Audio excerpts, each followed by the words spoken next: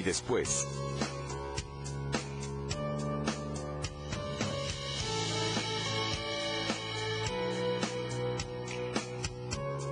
Estás viendo el canal del Congreso, el canal de la Unión.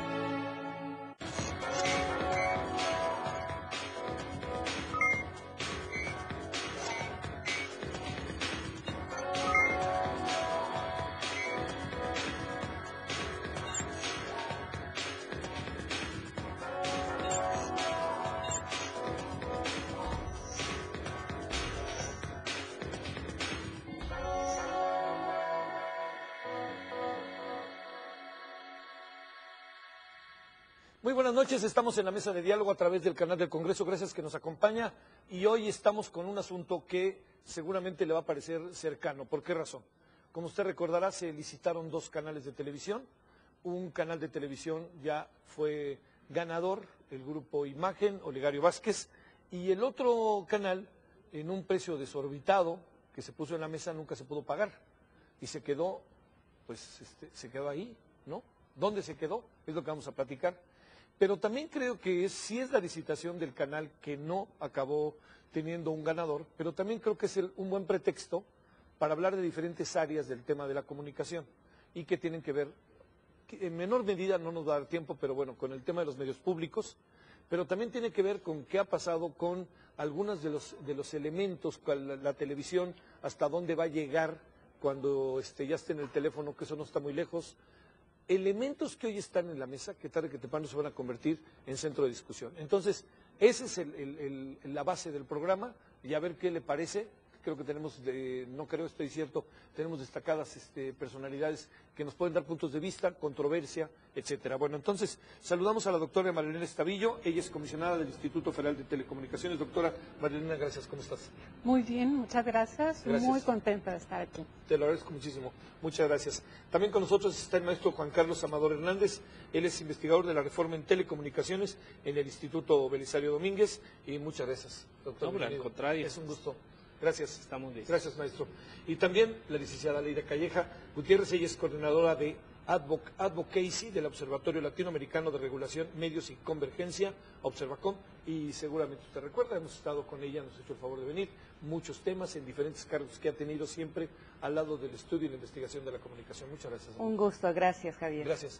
Oigan, yo creo que no- no- para no dar como más, por eso lanzaba el preámbulo, a ver, este, está en manos del IFT Así es. en manos de nadie más.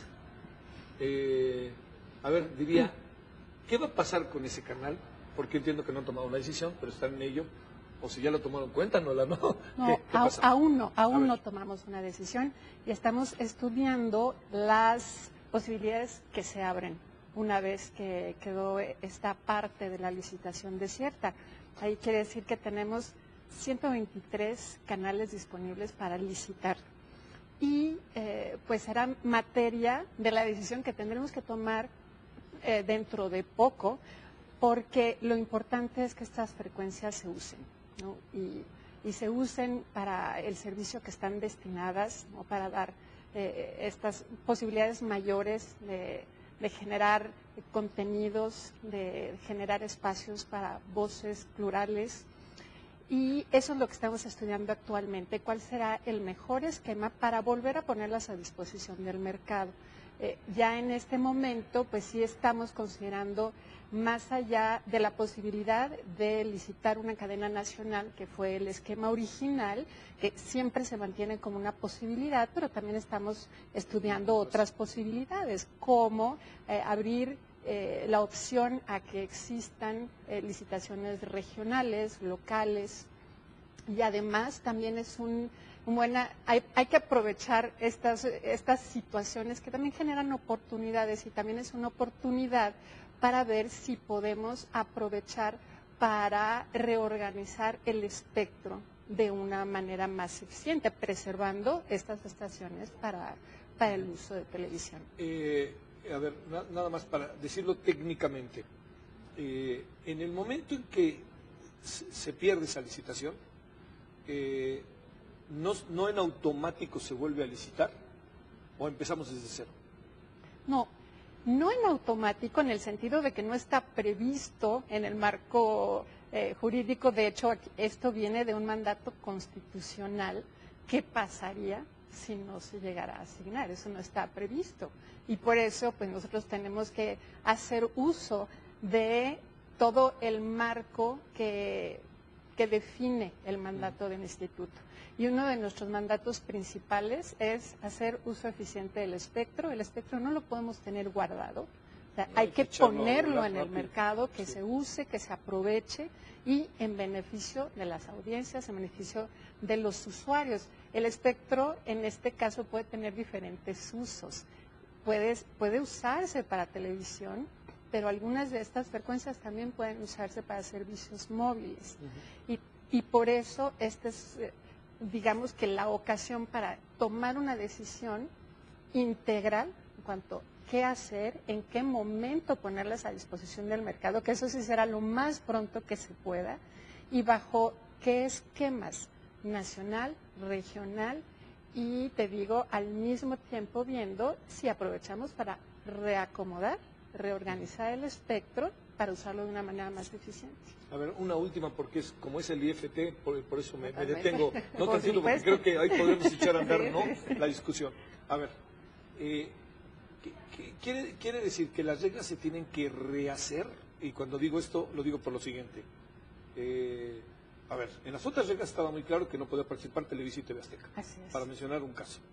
En las otras era que este, empezaban igual y que les daban tiempo para poder entrar y para poder competir en serio.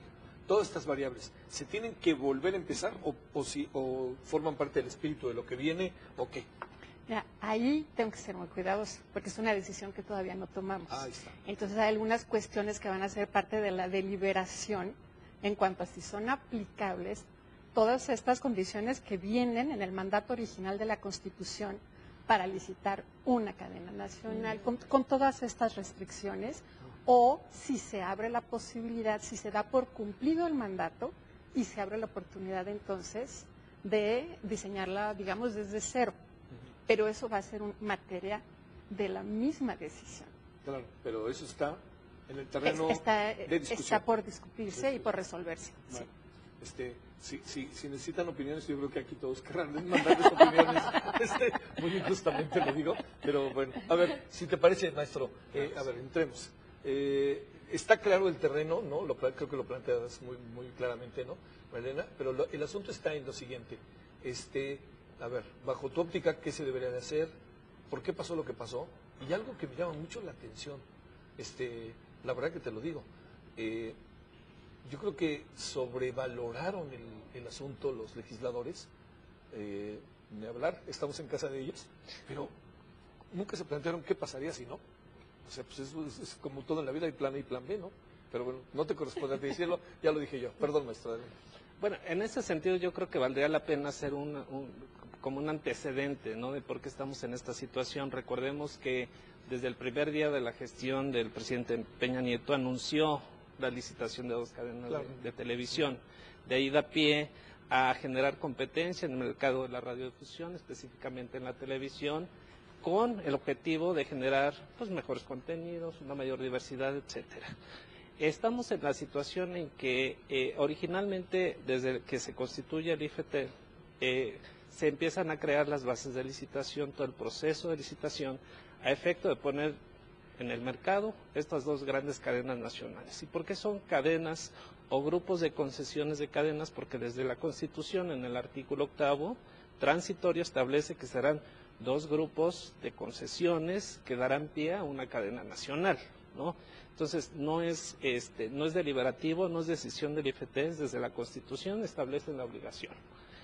Eh, ¿Qué pasó? Eh, y es ahí parte de la, de la discusión que hoy se tiene, es, hay algunos especialistas que han cuestionado el proceso de licitación, que no fue el adecuado, que hubo algunos criterios que no se tomaron en consideración. Pongo, por ejemplo, uno. Eh, eh, eh, las bases de la licitación establecían un precio mínimo de referencia alrededor de 800 millones. Pero algunos se han cuestionado cuando se le hace la consulta a la Secretaría de Hacienda para establecer ese precio de, referencia, Hacienda establece un precio mínimo de referencia de 1.600 millones, que digamos, para, en materia de ingresos, pues Hacienda establece pues, son 1.600. El IFT toma la decisión de no establecer ese precio de referencia que se tomó en consideración varios elementos, pero que a juicio del IFT asumieron un precio menor. Ese fue uno de los elementos que se cuestionó en este proceso de licitación. Otro tiene que ver con, bueno, ¿por qué se asignó a través de un precio único de primer precio y no de segundo precio? Es decir, para evitar el riesgo, o lo que sucedió precisamente de que alguien apostara mucho respecto al, segundo mejor postor, pues hay mecanismos en, de licitación en donde en lugar de que el ganador pague el máximo, pues pague el segundo mejor o, el segundo más alto. Ese, digamos, con eso evitaríamos esa diferencia entre el primero y el, segundo postor, hablando en este caso de dos cadenas de, de, televisión. Entonces, es otro criterio que a juicio de lo que comentaba ya la comisionada, pues tendrían que considerarlo para efectos de si se modifica o no sí. el proceso de licitación como tal. Pongo estos dos ejemplos, como muchos otros que se ha cuestionado, y es ahí donde eh, para muchos este proceso de licitación falló o falló parcialmente. Algunos, en, en, en palabras de los comisionados, eh, a su juicio fue exitoso este proceso de licitación, algunos no lo ven así porque el objetivo de generar mayor competencia en el mercado al establecer dos cadenas de televisión no se logró de manera inicial. ¿no? A ver, eh, te pregunto, eh, unos dicen una cosa, otros dicen otra cosa, ¿tú qué dices? A mí me parece que parcialmente falló el proceso, en efecto hubo elementos este, que no se consideraron, había riesgos que eh, tal vez se debieron de haber considerado, como esto de establecer otro mecanismo de, de, de asignación y evitar que alguien presentara una postura con un sobreprecio, como lo que sucedió, y eventualmente yo no diría que todo es, digamos, culpa del instituto, ¿no? Uh -huh. Digamos, el postor también cometió errores, eh, hubo cálculos que a mi juicio eh, el Grupo Radiocentro no lo hizo y que inclusive derivó en cuestionamientos de su viabilidad técnica y, financiera. Yo creo que valdría la pena que los participantes tengan una precalificación, al menos en términos financieros económicos, que si bien se ha dicho ese no es motivo para darle una concesión, yo creo que con la experiencia que tenemos, sí da pie a que en la siguiente proceso de licitación, en las condiciones que se dé, al menos exista una precalificación previa en términos económicos y financieros para evitar que un postor pues tenga las condiciones para este y solvencia económica para tener la a ver este maestro antes de que pasemos con la ley te planteo eh, hasta dónde llegan en este proceso las atribuciones del instituto y hasta dónde está el mandato constitucional lo, lo, que pasa es que las atribuciones, recordemos que desde que se re, aprueba la reforma constitucional se le establecieron los 180 días para eh, sí. emitir las bases de licitación, pero después en el Inter se aprueba la Ley Federal de Telecomunicaciones eh, y Radiodifusión. Entonces, en ese Inter hubo algunas atribuciones que no estaban claras, ¿no? Uh -huh. Y que eso motivó que las bases de licitación, eh, entiendo yo, tuvieran alguna, un ajuste, una modificación en el Inter, ¿no? Eso finalmente, recordemos que el instituto echó a andar toda su estructura sin tener una base, un, un ordenamiento legal desplegado, ¿no? Y aún así yo creo que hicieron buen, buen trabajo, eh, establecieron los criterios básicos con base en las atribuciones que la Constitución estableció, pero que la ley todavía no estaban definidas, ¿no?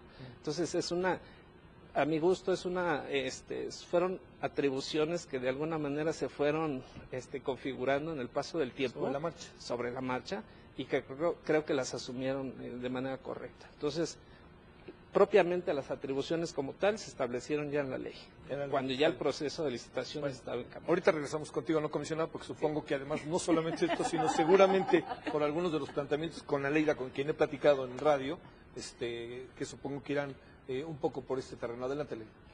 A ver, eh, yo creo que la parte que se declaró desierta de la licitación no es atribuible de ninguna manera al Instituto Federal de Telecomunicaciones. En otras ocasiones he sido muy crítica respecto sí. de lo que ha hecho el IFETEL pero en esta ocasión creo que no es atribuible al órgano regulador. Y quiero poner un poco de, de contexto y de historia. La demanda de tener nuevas cadenas de- nacionales de televisión es una demanda muy añeja, muy añeja, ya tiene muchas décadas. No es algo que haya salido de esta administración. Esta administración, digamos, se vio forzada por el, Pacto por México para ponerlo, pero no era precisamente su, su idea. Y esta demanda que tiene por lo menos un par de décadas, que era precisamente la demanda de romper con el duopolio televisivo, eh, finalmente se concreta hasta que se hace el pacto por México y se establece constitucionalmente que se tienen que licitar dos nuevas cadenas nacionales de televisión y se establece la, la creación de una nueva cadena nacional de televisión pública, ¿no? que es el sistema de Sí. radiodifusión del Estado mexicano, pero cuando finalmente se determina, a mí me parece que se determina ya muy tarde. Antes no pudo haber licitación de nuevas cadenas porque el duopolio no lo permitió. Incluso cuando fue la fusión Yusacel Televisa, que una de las condiciones fue que no hicieran nada para permitir que se hiciera la licitación, o sea, el órgano regulador pidiéndole de favorcito a las empresas que por favor les, les permitieran hacer una licitación de cadenas. Y llega tarde, ¿por qué? En un momento en que el proceso de convergencia tecnológica está a un paso súper acelerado, donde ya la perspectiva de negocio no necesariamente es la televisión abierta, sino la televisión de paga, porque esa es la que te permite el mayor proceso de convergencia tecnológica. Ahí puedes tener televisión, puedes tener telefonía fija, Sí, puedes es tener internet, o sea, y eso te da unas posibilidades de mercado impresionantes en un momento en el que una buena parte de la población joven, clase media, que es la que tiene la capacidad de consumo, ya no tiene como, eh, eh, ya, ya no ve televisión, ya no escucha radio. Ellos se arman su programación con podcast, con, o, con, en fin, otro tipo de, de programaciones que ellos pueden armarse, ¿no? Entonces, las cadenas de televisión, o sea, llegan en un momento en el que el mercado está yendo hacia otro lado. Y por otro lado, me parece que precisamente el hecho de que no se hayan establecido claramente los límites a la concentración, tanto horizontal como vertical y privada, en materia de radiodifusión, especialmente en televisión, y las medidas tan laxas de preponderancia que se establecieron en la ley para radiodifusión, generan barreras de entrada. Entonces, si tú eres un inversor, ¿no? Dices, a ver, voy a entrarle con mi dinero a esta cadena.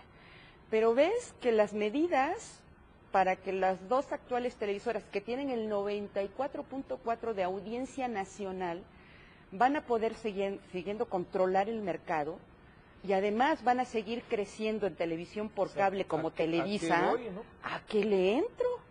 Entonces, muchos inversores extranjeros que en un principio dijeron, podría ser interesante entrar a la televisión mexicana, a la hora de la hora no le entraron, porque hay muchas barreras de entrada. La primera es, una, que llega tarde, que bueno, ni modo.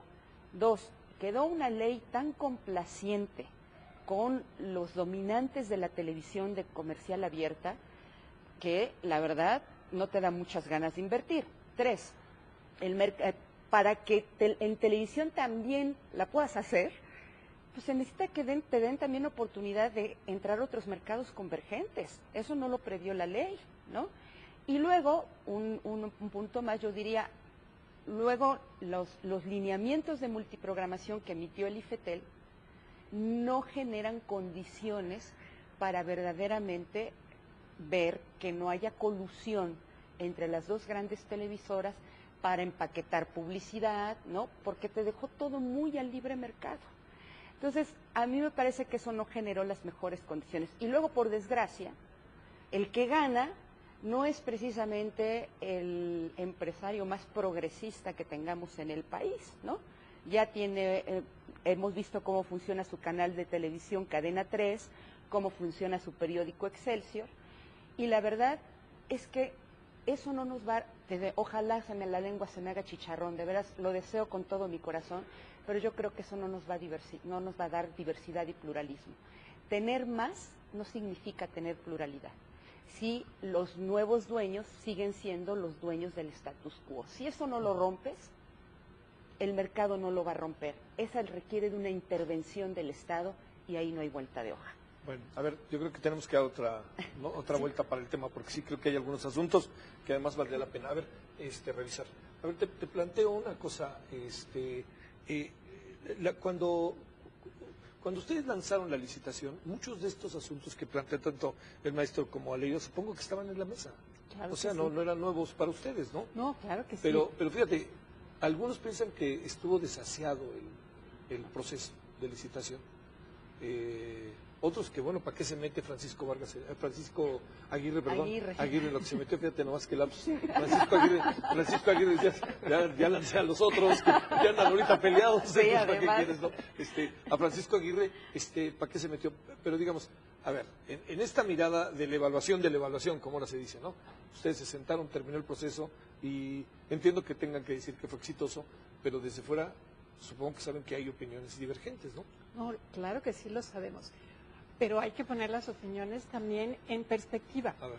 porque muchas de las críticas que se han dado respecto de cómo se debió licitar, eh, cómo se debió diseñar la licitación, vinieron hasta después de que se realizó la licitación. Entonces, no es lo mismo decir, ya que sé cuánto ofreció este, cuánto ofreció el Sí. otro, cuántos entraron a la licitación, cuántos se salieron, no es lo mismo a diseñarla como se diseñan las licitaciones y que es antes de que ocurra nada de esto. Hay que diseñar las reglas con la información que se tiene en el momento. Y por supuesto que conocemos eh, eh, muy bien las diferentes eh, alternativas para diseñar una licitación y no existen recetas que funcionan para todos los casos. Cada licitación se tiene que diseñar de acuerdo a las condiciones de lo que se va a licitar, cómo está el mercado, cómo está el interés, cuál es la certidumbre sobre el valor de lo que se va a licitar.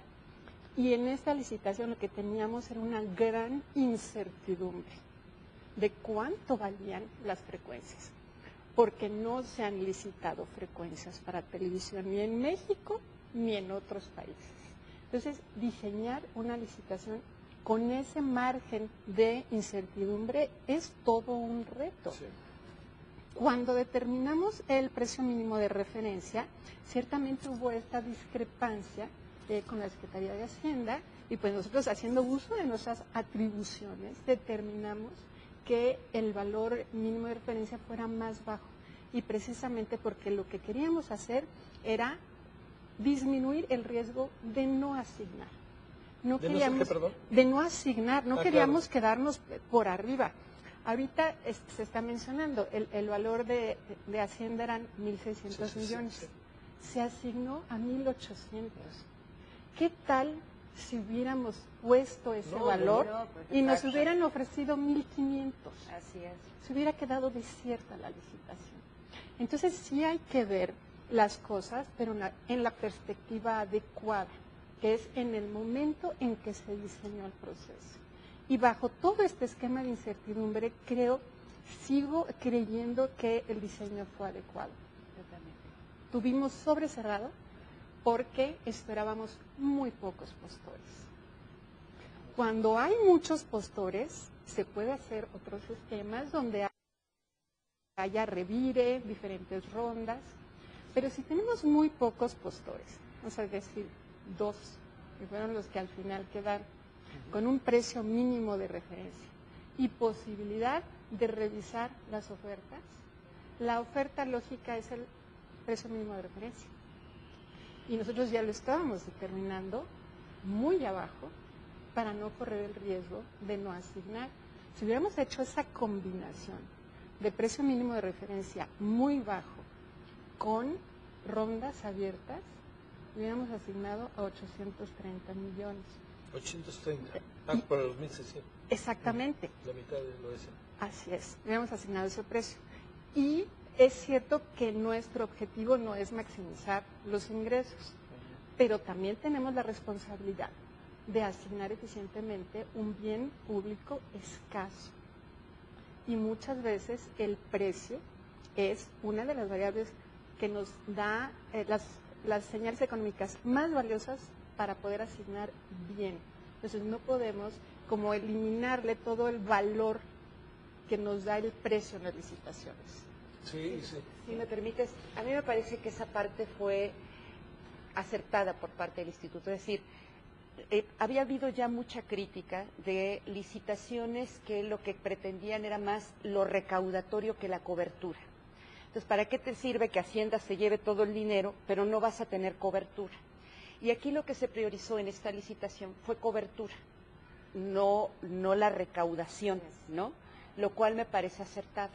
Lo que sí me parece, y si eso sí fue previo, crítica previa al diseño de las bases de licitación, no, creo que la consulta, no estoy, no estoy segura, no me recuerdo muy bien, pero algo que nos hubiera gustado ver era sí ponerle una calificación a la programación, porque aunque la programación se puso como un criterio de requisitos, No tenía criterio. ninguna calificación. Sí, claro.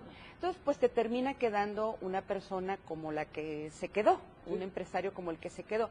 Yo no digo porque tengas que imponer contenidos, pero sí que el, el nuevo postor tenga la creatividad de proponer contenidos innovadores, ¿no? Entonces, me parece que esa es como la gran crítica. El, a mí me parece también que sí el Grupo Radio Centro nos debe una explicación a la sociedad Claro que sí. nos las debe y nunca nos las ha dado. Porque le entró, ¿no? Me parece como muy poco serio que le haya entrado como quieran con, la, con, con un precio muy alto, pero que al final dijera, pues fíjese que dice mi mamá que siempre no, ¿no? están los y, ahí dejó- 450 y entonces millones nos dejan y- un gran problema. Sí. No, o sea, no solamente al regulador, nos dejan un problema a nosotros como sociedad. ¿Qué hacemos con ese espectro? Que es un bien finito. Sí. Y fíjate, hay también muchas cosas que hay que interpretar del entorno político. Eran ocho competidores, terminaron dos. Tres- o sea, eran 3-2. Exacto. ¿Por qué se bajaron los otros? Eso hay que saberlo. Porque en medio vinieron muchos escándalos, muchos escándalos sí. políticos que la verdad, como, como decía Krill, da para el sospechosismo, ¿no? Porque dices, bueno, muchos de esos jugadores estaban vinculados con el actual poder político en el gobierno. Entonces, me parece que sí se nos debe como una explicación por parte de los jugadores porque es un bien finito, que vale mucho, que todo el mundo lo quiere. Y ahora el gran problema que nos dejan es que ahora se habla de cadenas regionales, locales, Sí. pero que no se van a convertir en competencia a nivel nacional, que es donde tenemos el problema más grave de concentración en términos de televisión abierta. Entonces a mí me parece que allí el, hay como muchas aristas y mucha falta de información como para tener el panorama completo de exactamente qué pasó y por qué. Sí. Y hay, sí, hay cosas que el regulador no tiene nada que ver. El legislativo tampoco, por más que haya Así sido. es. Aquí son. Bueno, a ver, déjame plantearte una cosa, eh, maestro, junto con lo que se ha sumado de opiniones. A ver, uno, eh, yo creo que desde los 70 que uno estaba en este tema, imaginaba la democratización de los medios, imaginaba muchos postores, imaginaba muchos jugadores, ¿no? Como se dice ahora. Cuando apareció el Canal 13 y luego Imevisión y luego se privatizó de la manera en que se privatizó, eh, eh, hubo un momento de aliento inicial, a pesar del dueño, hubo un aliento, pero esto acabó en menos de un año, si recuerdan, ¿no? Bueno. Y entonces volvimos a la discusión de los 70. O sea, tenemos que... tas, tas. ¿Por qué te doy este antecedente? Tú dime, ¿quién puede comprar un canal de televisión en México? Que ese es uno de los problemas que tenía, supongo, el regulador. Ese es un tema. Y el segundo tema, o sea, como para poderlo discutir, es, este, eh, ya, ya que estaba esto, que, que se pagan 450 millones, la gran pregunta ahora es, eh, como ver hacia adelante, que de alguna otra manera ya se está diciendo. ¿Qué sería lo que tendríamos que hacer, tomando en cuenta también que la televi- las televisoras nacionales, sí, eh, quién sabe, a lo mejor no estoy tan de acuerdo con lo que dice Aleida, en una parte, ¿no? O sea, en otro, por supuesto, porque es un asunto casi que político.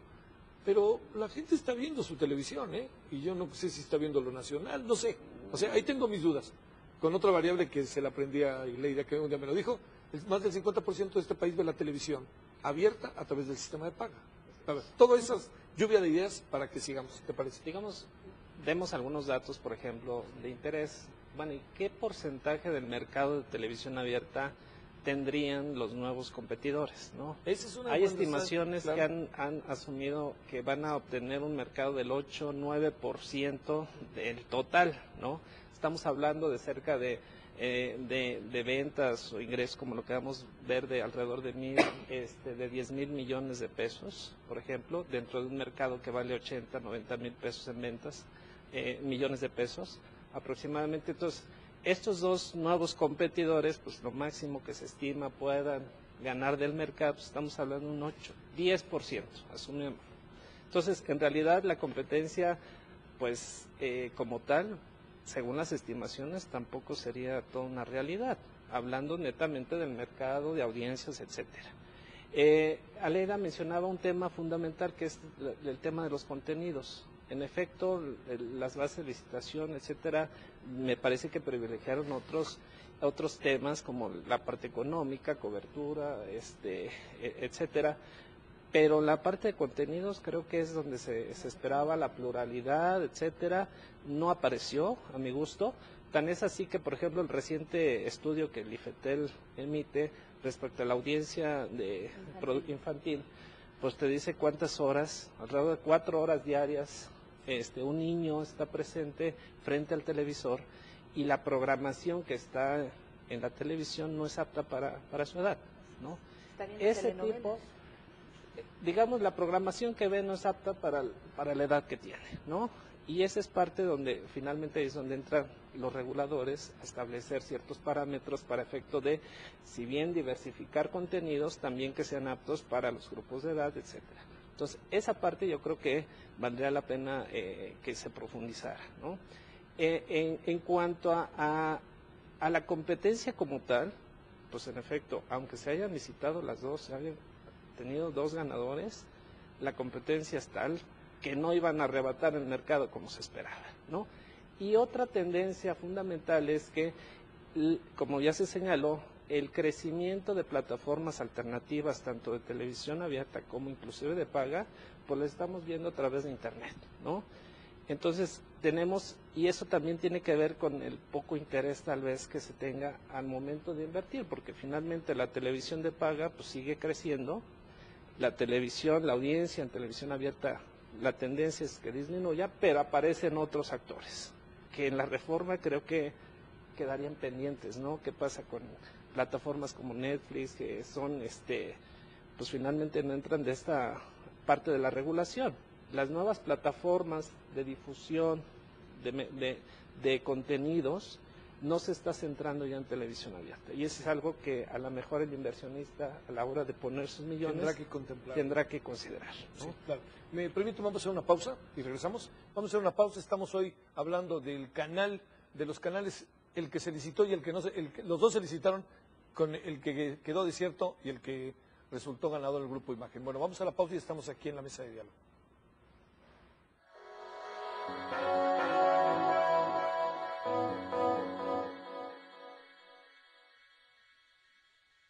La Cámara de Diputados invita el 13 y 14 de julio al Congreso Internacional Invierte Temprano, aportaciones para el presupuesto base cero, que se llevará a cabo en el Palacio Legislativo de San Lázaro. La conferencia magistral estará a cargo de James Heckman, Premio Nobel de Economía. Informes en el sitio cefp.gov.mx.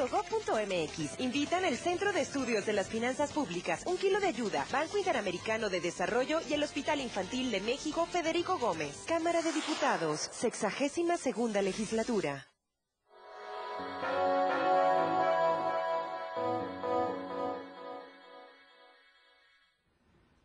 Bueno, estamos de vuelta en la mesa de diálogo. Entonces estábamos en los criterios, en lo que pasaba con los, este, si el contenido era tema o no era tema, cuando era en buena parte la discusión del tema, y sobre todo en algo, Aleida, que, que a ver si con esto ahí continuamos, que es un poco lo que plantea el maestro, eh, que es lo siguiente. Eh, digamos, las, los dos canales que se estaban licitando, uno presuponía que entrábamos en un en mediano plazo en un toma y daca pero digamos, si fuera una especie de partido de fútbol, el resultado a mediano plazo va a ser igual de apabullante que era antes. O sea, de no ser que pasara algo ahí medio nuevas alianzas o algo así, ¿no? Sí, a, a menos que sucedieran nuevas alianzas, que se le permitiera dar otros servicios adicionales a esa televisión, a esa televisión digital abierta nueva. Pero es que sí le pusieron muchas barreras de entrada, por ejemplo, con la multiprogramación. Cuando el IFETEL hace lineamientos de multiprogramación sin ningún tipo de, de, de, digamos, de mayores, re- de mayores responsabilidades o de equilibrar las asimetrías, pues pone en desventaja a los nuevos jugadores. TV Azteca. TV Azteca, ¿cuántos canales tiene? Tiene eh, tres. 13, 7, ¿no? tiene 13, 7 y 40 de Sí, entrada. De entrada, exacto. Ahora, ahora esos multiplícalos por cuatro. Sí, claro. Pues ya cualquier jugador está en desventaja frente a ese. Ahora, Oye, aunque a y Televisa... eso, y eso que no pusiste el tema de Televisa, ¿eh? Bueno, por eso, a eso voy, aunque Televisa solamente puede acceder al 50% porque es preponderante en radiodifusión, pues de todas maneras junta a los que siempre se han coludido, Televisa y TV Azteca, y los nuevos jugadores están en total desventaja. Por eso decíamos que la multiprogramación debió haber tenido mucho mayores oportunidades de equilibrar las fuerzas, en- no solamente en el mercado, sino las fuerzas también para poder tener mayor posibilidad de pluralismo, ¿no? Por ejemplo, eh, la televisión digital en Chile, ¿no? En En Chile. El principal objetivo, objeto de la ley de la, de la televisión digital en Chile es promover el pluralismo, fíjate. De eso parte, y de ahí viene después toda la ley. Es más, los operadores están obligados a compartir una de sus señales, forzosamente, con alguna universidad o con algún medio local o con un medio comunitario o con un medio indígena, ¿no? De tal manera que la multiplicación de los panes permita sí incluir nuevas voces. Aquí se dejó muy al mercado, o sea, muy poca intervención del Estado. Entonces, a mí me parece, a ver, que no es un problema solamente de mercado, es un problema estructural. Si tú no arreglas el tema del el mercado concentrado y los jugadores que controlan el mercado, difícilmente, aunque nazcan nuevas plataformas, vas a poder eh, equilibrar las asimetrías. Y hablando de lo que es el maestro, y, y hablando de las OTTs, de Sí. las famosas over the top, que extrañamente todo el mundo está escribiendo sobre eso en estas semanas, no sé por qué. ¿Por qué? Eh, creo que le llaman nado sincronizado, no, no, no, me estoy equivocando. Pero extrañamente como que todo el mundo lo está, es- está escribiendo. Y a mí me parece que lo, en realidad, a ver, sobre este tema, ningún gobierno se ha atrevido todavía a determinar reglas, ¿eh? Ni Estados Unidos, ni la Unión Europea. ¿Por qué? Porque eso tiene que ver con otra discusión más compleja que no voy a meter ahorita, pero solamente la voy a mencionar con la neutralidad de la red. O sea, es un tema complejísimo. Y a ver, yo discutiría, ¿es Netflix un sustituto de la televisión por cable? ¿Sí? ¿Es el WhatsApp un sustituto de la telefonía celular? O sea, no es una discusión tan fácil. ¿eh? Yo diría que por ahí no pasa este proceso de discusión de la televisión abierta. Yo diría que el proceso de discusión de la televisión abierta sí significa en este momento una mayor intervención del Estado para tratar de equilibrar las asimetrías, porque es brutal las asimetrías que existen entre las dos grandes televisoras y el resto de la competencia que puedas tener. A ver, déjame plantearte una cosa, este, a ver, concreta. Eh, tú dices, eh, debe de ser la intervención del Estado. Eh, yo creo que estaríamos de acuerdo, ¿no? Un Estado que fuera, que, que planteara, que diera su opinión y que tomara decisiones. Eh, ¿El Estado va a tomar estas decisiones o no las va a tomar, tomando en cuenta el peso que tienen las televisoras, que en algún sentido, y no lo digo de manera peyorativa, co- cogobiernan, ¿no? Tienen que ver con el proceso de la gobernabilidad de un país. No, no, no veo tan fácil eso en, términos teniendo de un Estado, ¿no? O, o- o qué tendría que pasar ahí para entenderlo, no solamente Estado-gobierno, sino las propias televisoras. Cada vez que las televisoras son tocadas, hay una reacción que le puede tocar hasta al IFT. O Le puede toca al IFT. Claro, pero, no, pero digo, cuando les digo que le puede tocar, se van encima de ellos, ¿no? Eh, además y lo han tienen- hecho. Y tienen muchos mecanismos para hacerlo. Y, y lo digo, espérame, se vale en función de intereses, en fin. Pero a ver, te planteo eso como un elemento. Pero por, yo te pongo otro elemento. Sí. Tienes toda la razón, te la concedo totalmente. Pero hay un visillo de esperanza, A ver, portabilidad. ah, claro. El caso de portabilidad numérica, ¿no? Fueron las televisoras las que fu- fueron la- y pusieron a través de algunos senadores la controversia constitucional en, la Suprema Corte de Justicia de la Nación. Y mira que también, ¿no? Todas las semanas había un articulista escribiendo sobre la portabilidad y lo mal que lo había hecho el IFETEL, ¿no?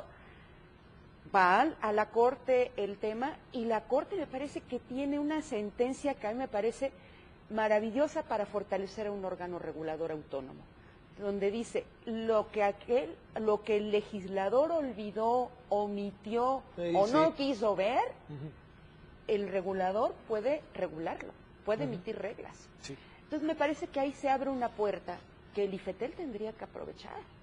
Yo, yo entiendo que las los poderes cogobernantes han sido muy fuertes, pero también entiendo que tendríamos que utilizar las vías que tenemos mínimas, y yo creo que la Corte ahí ha dado un- Pruebas de. pruebas de, Sí. y que el IFETEL tiene que aprovechar. Yo no te digo que vamos a ir como el caso Argentina, ¿no? O sea, que ya es un caso extremo, pero sí tendríamos que ir teniendo aproximaciones sucesivas. Y yo lo que creo es que el IFETEL, y eso lo platicaba hace un rato con María Elena, el IFETEL debería de asumir como suyas dos sentencias de la Corte.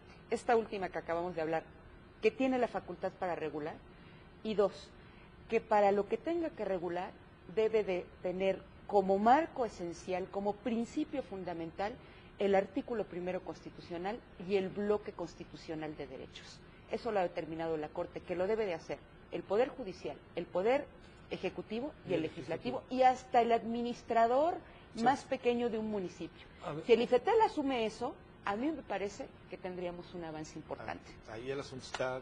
No, así que la pelota. A ver, planteo en función de lo que hemos ido sumando, que creo que no va a ser fácil hablar de otros temas, pero de cualquier manera, a ver si al final por lo menos hablamos de qué criterios se han pensado para otro asunto que me parece muy importante, porque por primera vez se van a licitar una buena cantidad de estaciones de radio de AM y FM, y eso me parece un temazo.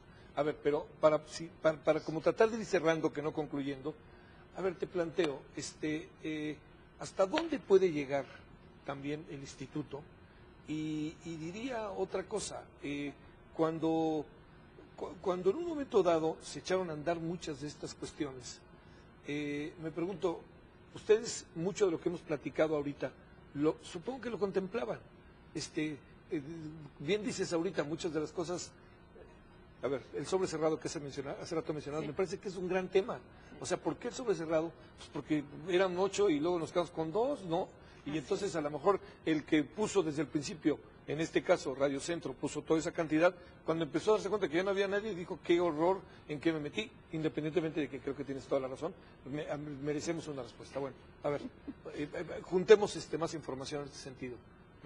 Bueno, se han tocado muchísimos temas Sí, muy sí, interesantes y bueno, necesitaríamos mucho Oye, tiempo pues y es que me gustaría tocar Claro, todos. Pero te voy a decir una cosa más. Te voy a decir algo que me parece terrible. Todos muy interesantes y casi todos, diría yo, igual de importantes. Claro que, Que sí. ese es el, el gran asunto. Claro ¿no? que sí, y yo por eso no quiero dejar de ir el tema de la pluralidad, porque es un concepto que tiene la mayor relevancia en la reforma constitucional, aunque van a la par. Competencia y pluralidad se repite todo el tiempo, competencia y pluralidad.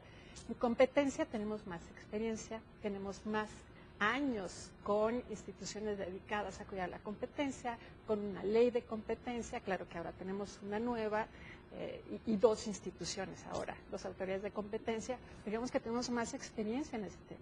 La pluralidad no, o sea, como un principio con esta relevancia. Y tenemos que irlo construyendo, tenemos que irle dando contenido con diferentes instrumentos. Y, y yo creo que ahí también es, es una tarea muy importante de- del IFT, ¿no? Hemos tomado en, en las decisiones que tomamos todo, todo el tiempo, tenemos la perspectiva de competencia y de pluralidad. Pero de pluralidad sí nos hacen falta más referentes. Los tenemos que ir construyendo, tenemos que ir generando criterios, eh, utilizando los diferentes instrumentos que tenemos a la mano para darle contenido a, estas, eh, pues a esta obligación de tener medios más plurales. Pero sí es, un, es una construcción y estamos apenas comenzando. Eh, lo que sí les aseguro que es, es una de estas tareas relevantes que está tomando el instituto muy en serio, muy en serio y ya lo hemos hecho en las decisiones particulares. En lo que tenemos que trabajar todavía es en instrumentos específicos destinados a, a promoverla. Sí. Sé que, sé que no, no, claramente lo dijiste desde el principio que no hay una fecha como para saber qué vamos a hacer, qué, qué van a hacer, diría socialmente qué vamos a hacer con el canal que quedó este, desierta la licitación. Pero, eh, digamos, eh, a lo mejor va a resultar engorroso, pero en este proceso en el que están, han contemplado consultar qué hacer o es una decisión que ustedes la van a tomar listo. Cuando digo consultar a nuevas reglas, a nuevo juego, pues nuevas opiniones seguramente, ¿no? Es, es una posibilidad, sí, sí está contemplada.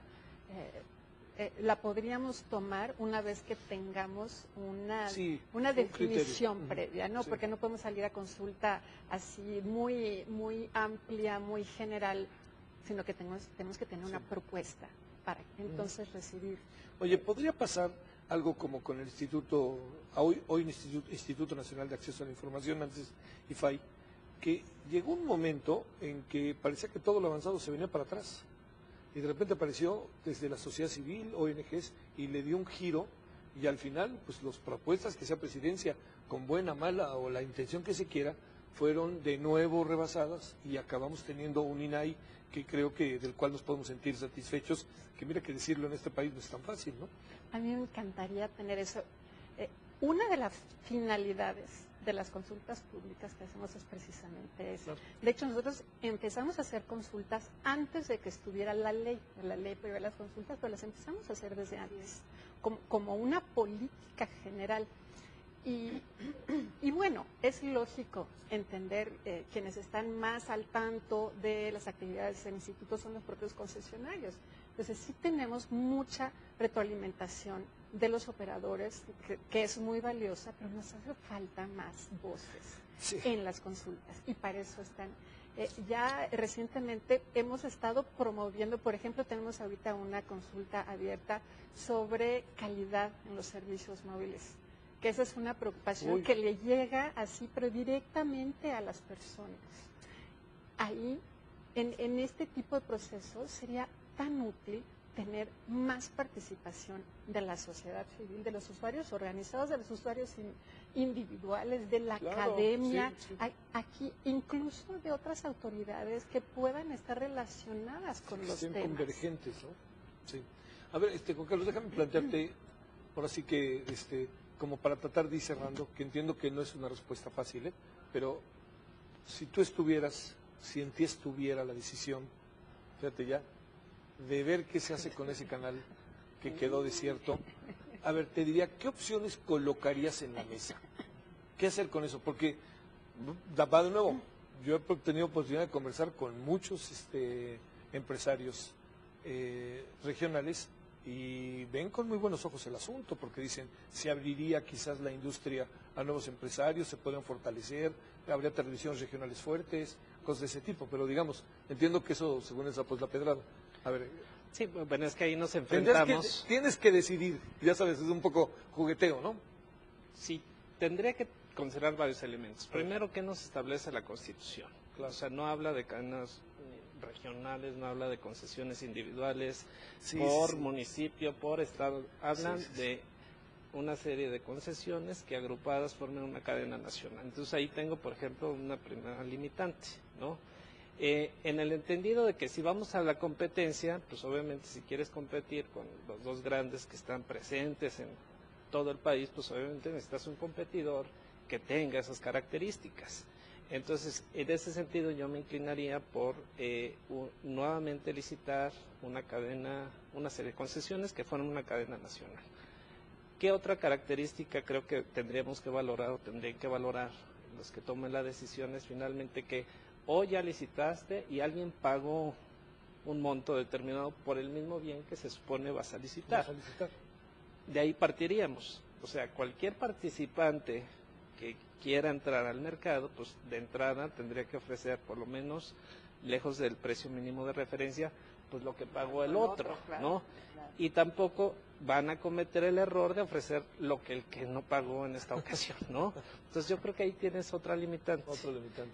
Y un tercer elemento que, que me parece fundamental es qué clase o qué tipo de concesiones, contenidos y participante quieres tener en el mercado.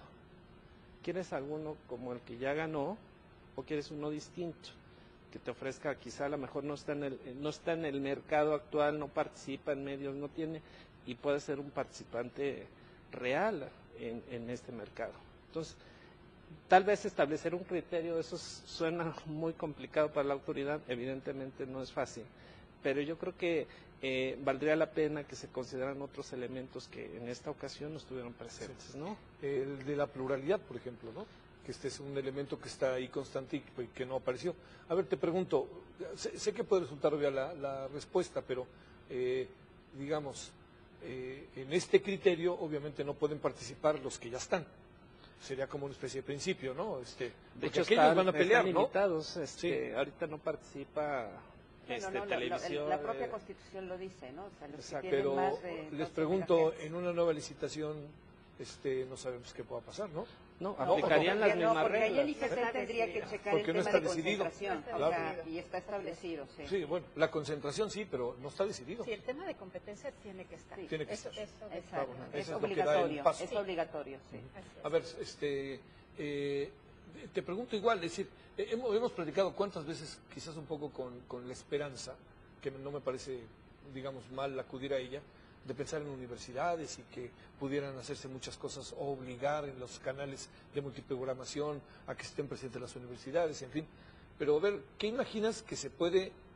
No, no, ya, no, ya no hablo del deber ser, Aleida. Hablo que, que, que para esta sociedad, ¿cuál sería una salida muy interesante que fuera de utilidad? A ver, mira, una salida muy interesante sería que, funciona, que funcionara realmente el Sistema Nacional de Televisión Pública, Ajá, o sea, el sistema. sí. Ya pasó cuánto tiempo, a mí no me queda claro el proyecto, creo que casi nadie conoce de la nación que existe. O sea, a mí me parece que lo que toca es fortalecer nuestro canal de televisión pública nacional y que sea público, no oficialista ni estatal, ¿no? Ahí tenemos un reto como sociedad enorme, me parece.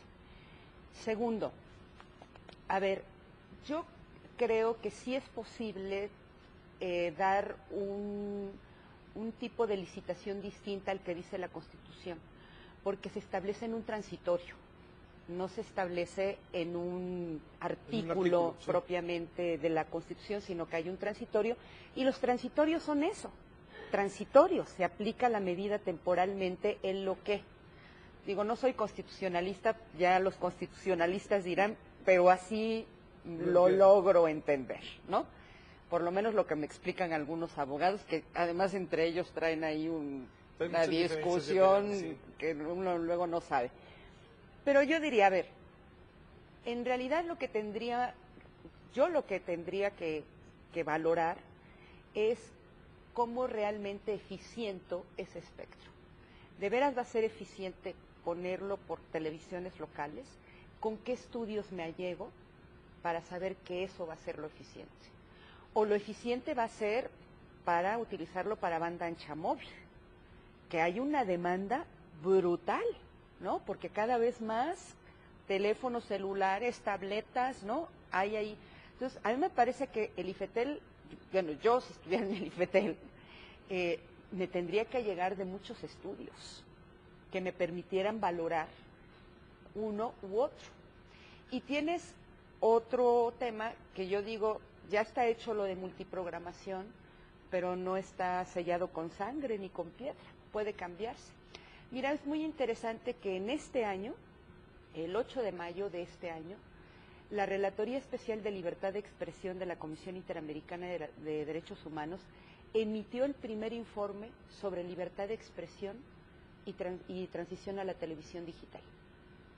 ahí te marca, mira, es, es una maravilla el documento, porque te va diciendo todo lo que debiera de hacer un Estado para garantizar libertad de expresión y pluralismo en el proceso de transición digital, a la televisión digital. Y yo creo que el IFETEL debería de tomarlo en cuenta, porque ayuda mucho a generar condiciones de pluralismo.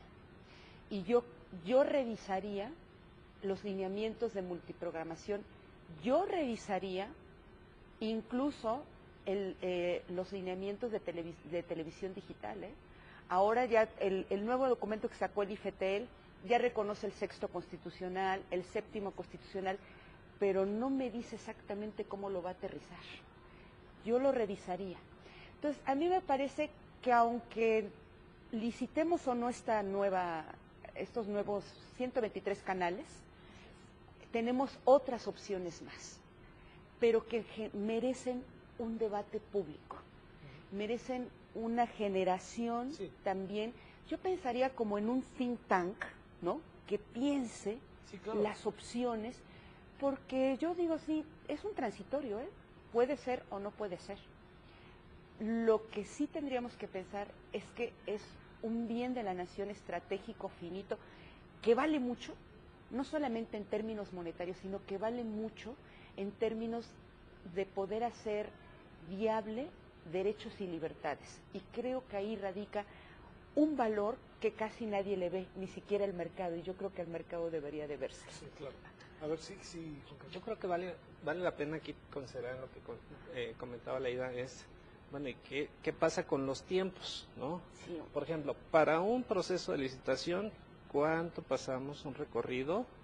Ya tienes las sí. concesiones, sí vas a supuestamente iniciar operaciones este, paulatinas, empezar, supuestamente a principios del 2016 empiezan operaciones y vienen otro tipo de discusiones sobre la compartición de infraestructuras, si utiliza infraestructura si de veras se va a cumplir el no, apagón analógico, ¿no? Si de veras vamos a llegar. Porque sí, hay, que, hay, que, hay que recordar ah. que lo que se licitó fueron concesiones de, de televisión digital, ¿no? Entonces, lo que vamos a tener es a la par un proceso de apagón analógico con puesta en marcha de esta concesión que se supone que entraría en operación, pero todos estamos hablando de, desde que empezó la reforma constitucional hasta hoy que tiene la concesión y hasta que empiece en operación, pues prácticamente son tres años, ¿no? Si, y, si vemos es en, en, contexto, en tiempo, lo que todo este proceso, pues habría que ver qué pasaría con otro proceso de licitación. Si siguen la misma dinámica, pues estamos hablando prácticamente otros dos años más. Pero podría ser más corto, ¿no? Esa es parte de las definiciones sí, sí, que tendríamos que tomar. Puede ser parte de las definiciones que tomemos. Sí, pero eso no está determinado. No, no está determinado y hay condiciones que han cambiado. Por ejemplo, en esta, en esta licitación que, que hicimos, tuvimos que emitir una opinión de competencia previamente mm. a que se realizara la licitación porque todavía no teníamos la nueva ley en vigor y entonces tuvimos que actuar de una manera medio extraña, siendo la misma autoridad emitiendo una opinión previa. Eso ahorita ya no está así, entonces es un factor que nos va a ahorrar un poco de tiempo. ¿no? Se puede trabajar en, en, algunos de estos plazos, hay otros que no nos podemos quitar. Eh, pero yo también quisiera aprovechar eh, es, estos temas que están tocando, porque también es bien importante entender que tenemos muchos instrumentos distintos y no, no todos sirven para los mismos propósitos, porque también eh, esta, este deseo que, que, además todos tenemos de tener eh, contenidos de calidad ofrecidos en la televisión, es, tenemos una televisión comercial, tenemos una televisión pública, tenemos una televisión social, ¿no? indígena y se pueden lograr diferentes objetivos a través de estas distintas figuras. Eh, en la televisión comercial yo diría que es importantísimo tener competencia, pero tenemos una restricción en cuanto al tipo de contenidos que pueden proveer, porque en un mercado en competencia, pues deben sí. estar libres la, las empresas operadoras para ofrecer los contenidos que generan mayor audiencia, porque así es como compite. Ahora, no, lo, eh, le reto nuestro, como autoridad reguladora y de competencia, es generar condiciones para que de veras haya mayor competencia entre este tipo de televisión. Pero los otros contenidos que a lo mejor no generan mucha audiencia, pero que sí generan un impacto social muy importante, es, los tenemos que apoyar mediante otro tipo de instrumentos. Y sí es importante distinguir los instrumentos para los objetivos que queremos obtener. Este, es, es, una pena, pero ya se nos acabó el tiempo así, ya se acabó. Así, prácticamente. Sí, prácticamente. A ver, eh, a ver, una, una, si se puede cerrar, ¿no? Que este, Aleida, si quieres empezamos contigo. No, no, quiero pasar por alto la otra licitación, la de estaciones de radio. Entonces, en un minuto, sé que no es que es muy poco, en fin, pero que nos den una opinión, a ver, ¿Qué piensas? ¿Cómo debe de ser la licitación? ¿Y qué ha pensado hasta ahora el instituto? Adelante. A ver, mm, supongo que el instituto sacará alguna consulta sobre ese proceso de licitación. Esperaría que así vaya a ser. A ver, me parece una gran oportunidad para equilibrar las asimetrías de la radiodifusión, ¿no? Es decir, yo creo que deberían de tomar en cuenta los temas de competencia y acumulación de espectro, porque hay muchas empresas que acumulan espectro a nivel nacional en radiodifusión. No se ve desde el centro, ¿no? Pero sí acumulan mucho. Hay lugares donde prácticamente tenemos monopolios de la radiodifusión. Es decir, ¿cómo se va a garantizar la entrada realmente de nuevos jugadores? A mí me parece que sí tendría que haber una reserva de espectro, esta vez sí en serio, no como lo plantea la ley, ¿no? Que pidieron una reserva de espectro y les dieron una reservación, ¿no? Como la, como la reservación SIUX, eh, para el sector social no lucrativo. No solamente el comunitario indígena, ¿eh? el, no, el social no lucrativo. Y por último, yo lo que creo es que esa licitación podría ser todavía mucho más exitosa. No sé si se va a hacer antes el cambio de la norma del 800 al 400, porque eso permitiría abrir radio nuevas opciones de radio en las grandes capitales, DF, Monterrey, Guadalajara y otras. A esa es una clase. Bajamos a 400. Así es. A mí me parece que la experiencia que tuvo el IFT con televisión puede ser un, un aprendizaje que yo creo que deben de considerar.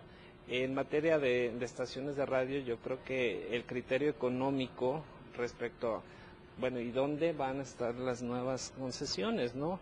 Eh, recordemos que el mercado de radio hace un momento hablaba de que no son plenamente sustitutos unos con otros, pero las tendencias son también a disminuir el mercado. Eh, es decir, eh, las plataformas en Internet no significa que sustituyan a la televisión, pero la tendencia es que sigan en aumento, como lo que sucede en telefonía celular. El teléfono celular no sustituye a telefonía fija, pero la tendencia es evidente, es a la baja la telefonía fija. En este, en este sector está pasando yo creo que lo mismo. La tendencia a, eh, al, al, uso de la radio también es, eh, eh está, en, en descend eh, está descendiendo y eso implica que también el mercado como tal pues se reduce. En términos económicos eso implica si tú tienes una radiodifusora y metes tres más en el mismo en el misma área de cobertura, pues finalmente la rentabilidad económica que cualquiera puede sustentarlo en su actividad como cualquier profesional o actividad económica, pues tiende a disminuir. Yo creo que ese es un papel fundamental de qué vas a hacer con los pequeños radiodifusores cuando les metas una competencia mayor en términos económicos netamente. Adelante, María. Esta nueva licitación que está planteada para la última parte del año a mí me parece importantísima. Tenemos ahí eh, espectro disponible y hay interés. Hemos recibido muchas manifestaciones de interés en diferentes lugares del país y a eso queremos responder. ¿no? Eh, el uso eficiente del espectro pues empieza por ponerlo en las manos de quienes lo pueden aprovechar y que tienen una propuesta. Y yo creo que esa es una gran noticia. Ahora nosotros como institución sí tenemos un reto, eh, digamos, en, ya en la parte operativa de llevar a cabo un número muy grande de licitaciones para las cuales estamos considerando pues, un proceso que nos permita de, de una manera muy eficaz ir asegurando lo que mencionabas de cuestiones de acumulación de espectro, de competencia en cada una de las plazas y para eso estamos ideando un diseño muy particular para estas licitaciones que se dan en estas condiciones. ¿Cuándo se supone que estaría este proceso echado a andar? ¿Hay fechas? Sí, en este año. En En, este este año se va a echar a andar. Eh, ya depende del esquema específico que se elija, podría llevar un poco más o un poco menos de tiempo, pero es este año, ¿Y los resultados los tendríamos este año? dependiendo del esquema. claro, si es un esquema eh, sí. que pudiera terminar este año Si o que se si pudiera no llevar un poco más de tiempo, pero Sí. que empieza en este año definitivamente. Sí. Y ahí también podríamos, este, no podríamos, deberíamos de meter el criterio que no se ha utilizado a plenitud en el caso de la licitación de la televisión, que es el de pluralidad. El de pluralidad tiene que ser un criterio, sí. Sí. Competitividad con pluralidad, Y, res- y restricción a la acumulación de espectro. claro, lo que es, Ujú. es igual el mismo es, criterio. así es. Sí, O sea, lo es que significa todo los abona a lo mismo. O sea, que los Sí. radiocentros, bueno, los radiocentros mejor ni hablemos, ¿verdad? pero, pero me refiero, no, este, fórmula, Radiorama. en fin, no podrían entrar. Habría que verlo por plaza. Claro, sí, a lo mejor Porque la como plaza son sí, locales, sí. sí. Esa es, digamos que esa es la dificultad de estas licitaciones. Que hay Está que, que hay atractiva, que ¿eh? ver el Sí. análisis por lo A mí me, me parece atractiva porque pueden apa- aparecer empresarios o grupos incluso sociales Claro que sí. no necesariamente necesiten tener mucho dinero para echar a andar un proyecto. ¿no? Así es. Bueno, Aleida Calleja, muchas gracias. Gracias, gracias, a Juan ti. Carlos, muchas gracias. Al contrario. Muchas gracias. Muchas gracias. gracias. Gracias a usted que está ahí del otro lado. Eh, estaremos la próxima semana en la mesa de diálogo y este, nos vamos reservando para en algunas semanas, si no es que antes, este, no mucho tiempo, eh, entremos al tema de los medios públicos, que creo que es una historia importantísima la que hay detrás de ellos y la que tenemos que revisar. Pásela bien, gracias en nombre de todos los que hacen posible la emisión. Adiós.